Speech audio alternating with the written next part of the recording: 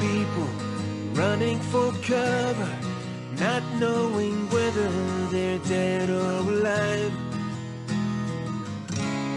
They came with their tanks and their planes, with ravaging fiery flames, and nothing remains.